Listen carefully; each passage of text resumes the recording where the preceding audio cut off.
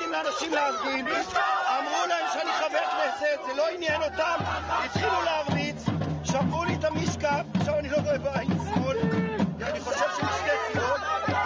וגם אה, השתוללו, הרביצו, לא מעניין אותם חבר כנסת, לא מעניין אותם מפגינים שלווים, העיקר להגן על המתנחלים הארורים שמשתלטים פה על בתים של אנשים חפים מפשע, אנשים שלווים, בושה וחרפה.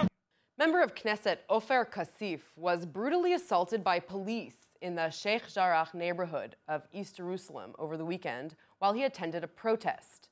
He alleged that police officers knew he was a Knesset member and didn't care. Israel Police's Jerusalem district said an investigation would be opened into the incident in a statement saying body cameras and additional documentation will prove what actually happened during the demonstration and new facts should surface in the coming hours.